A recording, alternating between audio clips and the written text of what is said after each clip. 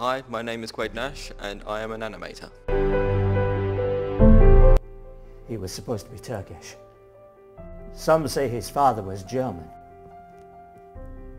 Nobody ever believed he was real. Nobody ever knew him or saw anybody that ever worked directly for him.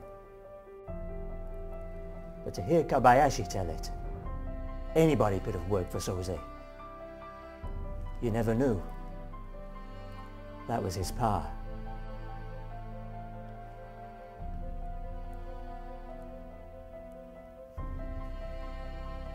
The greatest trick the devil ever pulled was convincing the world he didn't exist.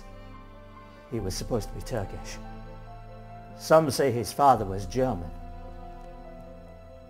Nobody ever believed he was real. Nobody ever knew him or saw anybody that ever worked directly for him. But to hear Kobayashi tell it, anybody could have worked for Soze.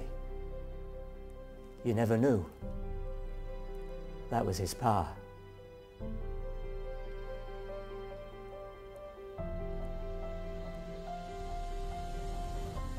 The greatest trick the devil ever pulled was convincing the world he didn't exist.